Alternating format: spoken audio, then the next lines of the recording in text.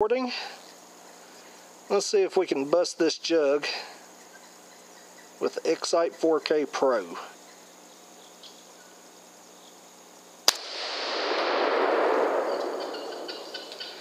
Yeah, that looks like that done the trick.